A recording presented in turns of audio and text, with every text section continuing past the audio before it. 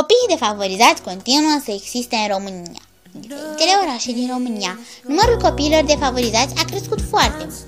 Cauzele sunt multiple, financiare, educaționale, sociale, medicale.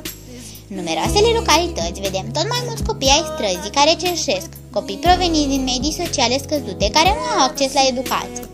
Au fost înființate fundații cu scopul de a ajuta pe acești copii să se integreze în societate. Și în orașul nostru, Vaslui, există astfel de centre și fundații. Printre acestea se numără și centrul de zi Veronica. Ajutăm copiii să zâmbească printr-un strop de culoare în viața lor.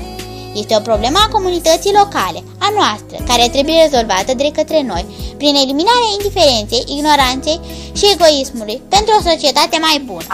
Să vă cunoască, să vă citească povești, să cântați împreună, să dansați, da.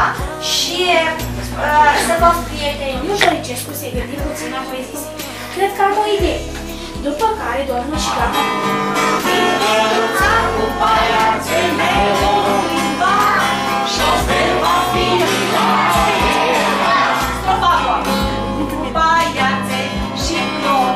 Și voi